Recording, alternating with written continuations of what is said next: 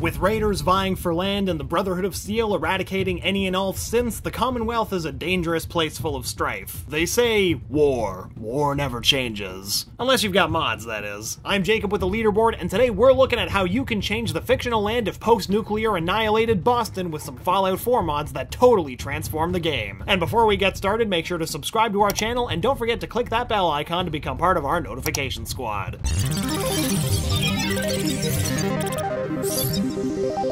Another Life, Alternative Start. What better way to start our foray into crazy game-changing Fallout 4 mods than with the Another Life Alternative Start mod? This one is a Bethesda game staple. In Skyrim, the alternate start mode would allow you to skip the entire intro with the cart ride and then Alduin ruining the party. In Fallout 4, Another Life Alternative Start lets you ditch the obligations of parenthood and start in lore-friendly situations. That's right, Sean, step aside, your parent has more important matters to attend to, like collecting 200 rolls of duct tape. With this mod, you start by choosing one of 30 different occupations. Each occupation comes standard with a unique set of gear appropriate to the theme you choose. They also come equipped with a cool perk and start out in a totally different location. Sanctuary Hills?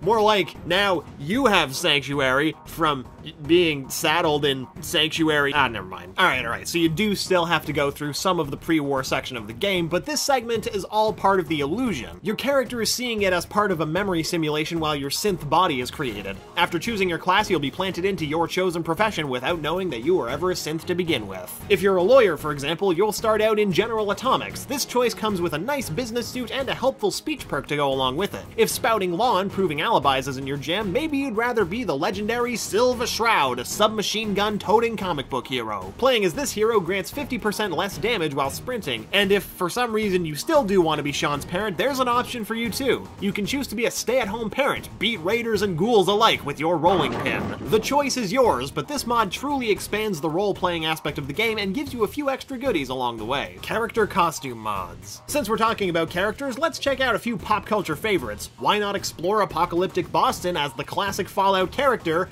Darth Vader? Playing as Mr. Vader actually comes in a mod called the Darth Vader Armor with Havok Cloth Physics. The mod lets you craft his armor and rampage through the wasteland as the Star Wars icon. Don't forget to add a lightsaber mod to fully embrace your role as Darth Vader. If you're scoffing at Star Wars though, then give the StarCraft-themed Kerrigan bodysuit a whirl. The Kerrigan bodysuit mod lets you take the role of a StarCraft ghost. You might not be slaying any Zerg, but at least you'll look awesome and strike fear into the heart of your enemies. Except possibly Deathclaws. But maybe you want to play as some characters a bit closer to home, like some Fallout 4 NPCs. For a little bit of extra variation, you can become a synth with the Playable Synths mod. Now you too can finally experience the internal struggle of being a manufactured robot. Philosophical struggle, here we come! With different types of synth bodies to choose from, you can live out your robotic fantasy. Maybe you'd rather enjoy some time as man's best friend though, or more specifically the best friend that's accompanied you for the duration of Fallout 4, Dogmeat. Using the Be the Dog mod, any player can play as Dogmeat, upgrading from faithful companion to playable character changes a ton. Not only does this mod completely change your appearance, but it also changes your attacks. You know, because dogs can't shoot guns, obviously, but they do have a nice pair of chompers. As Dogmeat, you have access to four different bite attacks. You won't miss out on the role-playing either. Even as Dogmeat, you can still use your Pip-Boy and talk to people as a dog. If you don't like Dogmeat's look, you've got a whole kennel at your disposal. You can play as Dogmeat, a Rottweiler, or even one of those mongrels. Ugh, look at it. It's gross. Frost. Alright, now how about a literal game changer? Looks like someone wished for a nuclear winter because Frost not only transforms the gameplay of Fallout 4, but the scenery too. Frost is the successor to the popular Dust survival mod for Fallout New Vegas. Frost doesn't just add snow to Fallout 4 though, it also adds a ton of gameplay. The mod transforms Fallout from a shooter RPG into a hardcore survival game. The goal is not to save Sean or complete all of the quests, it's strictly about staying alive. The mod is set just a few years after the bombs drop in Fallout lore, and 200 years before Fallout 4. As the name implies, Frost transforms the Commonwealth into a snowy waste. You won't be hoofing it over to Diamond City to find a thriving civilization, and you can say goodbye to Dogmeat. You won't even have to deal with Preston Garvey and all of the settlements that need your help, so already this mod sounds pretty appealing. Even without the base game's factions, NPCs, and its popular locations, there's still a ton to explore in Frost. You start out in the subway, where most of the Commonwealth lives. The land is largely uninhabitable because of all of the radiation. Still, you need food, medicine, and awesome loot, so you'll have to venture outside into this winter nightmare. Bring a gas mask to the surface, cause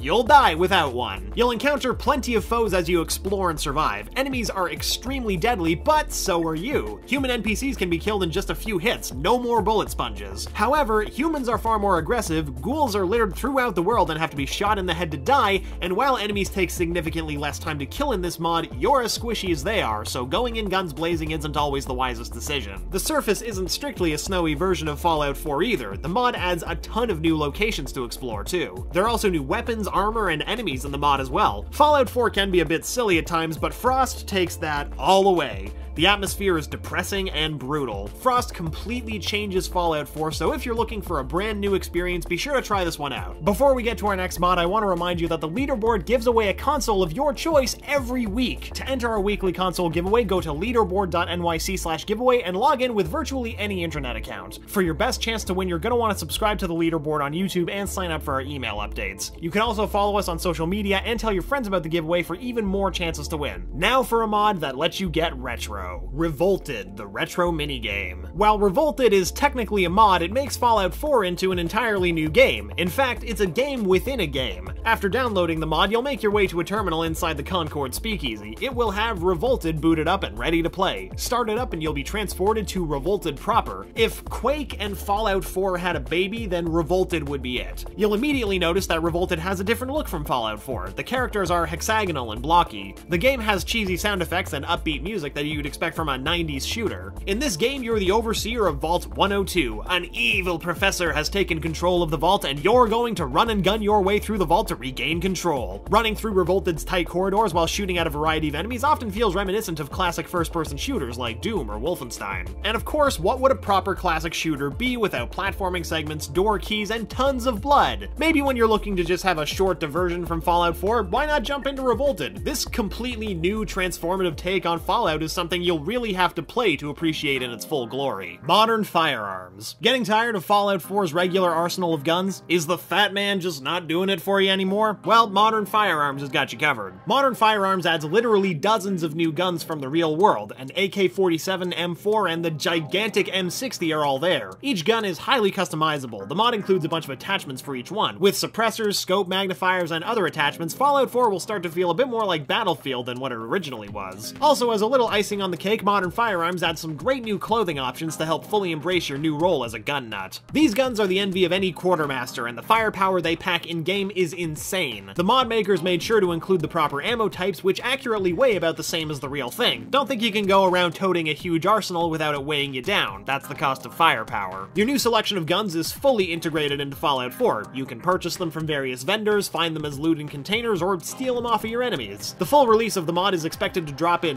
2020?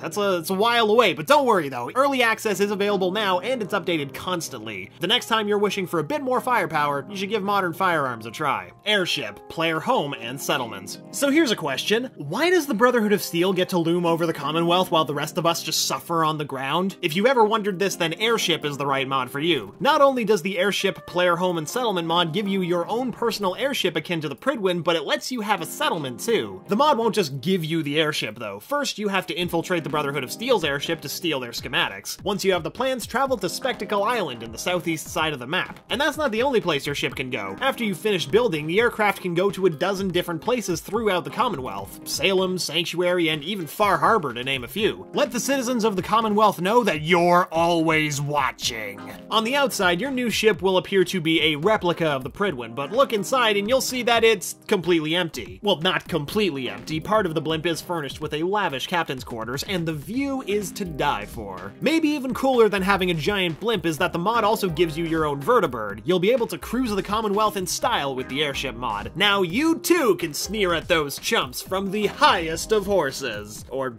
birds, I guess. America Rising, A Tale of the Enclave. America Rising, A Tale of the Enclave is an incredibly ambitious mod that brings a brand new two-hour adventure to Fallout 4. You might remember the Enclave as the lead antagonists of Fallout 3. Well, now you can join them in this mod. This mod brings an array of new quests to Fallout 4, adding a whole new arc. Thousands of lines of original dialogue were professionally recorded for America Rising. The developer implemented a bevy of features like brand new companions, new characters, and never before seen locations to make America Rising. The story is comprised of seven quests that you can play at any time. The quests seamlessly integrate into the main game. In one scenario, you'll be flown via vertibird onto an oil platform filled with ghouls and mirelurks. Another one pits you against the Brotherhood of Steel to prove that the Enclave is the new sheriff in town. This mod is a labor of love. It adds a new faction and a lore-friendly story to the campaign and modifies the Brotherhood of Steel story arc to include more interaction with the Enclave. Some extra goodies include things like an Enclave-only radio station that Fallout 3 fans will remember. There's even an Enclave skin for your Pip-Boy. With random encounters and repeatable quests to boot, this mod is a game changer. This isn't even the end of it. America Rising has two more story acts on the way, so if you enjoyed this one, expect more in the future. Once again, I'm Jacob with the leaderboard, and this has been Fallout 4 mods that totally transform your game. What mods have you found that are total game changers? Did we miss your favorite? Let us know in the comments below. If you like this video, consider subscribing or joining our notification squad so you can stay up to date on everything we're uploading. And hey, if you want to watch more Fallout 4 stuff or you just want to listen to my voice more, then we've got another video ready for you with 7 facts about Fallout 4. But just for you, we threw in 100 more facts, so go check that out. Thanks for watching the leaderboard, your home for video game facts.